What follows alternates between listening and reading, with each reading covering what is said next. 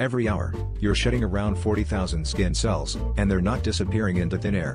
They're actually becoming part of the dust that coats your furniture and settles into every nook and cranny of your home. Yes, the dust you wipe away contains a little piece of you. Think about it, in just a single day, that's nearly a million skin cells contributing to the dust around you. It might sound a bit unsettling, but this natural process is a vital part of your body's renewal system. As old skin cells flake away, new ones are formed, keeping your skin healthy and resilient. But how exactly do these tiny particles become dust? Well, skin cells mix with other household particles, like fabric fibers and dirt tracked in from outside, creating the fine layer of dust you see. It's an ongoing cycle, silently happening as you go about your day, turning you into an unwitting contributor to your home's own unique ecosystem. So next time you're dusting, remember, a part of you is in every swipe.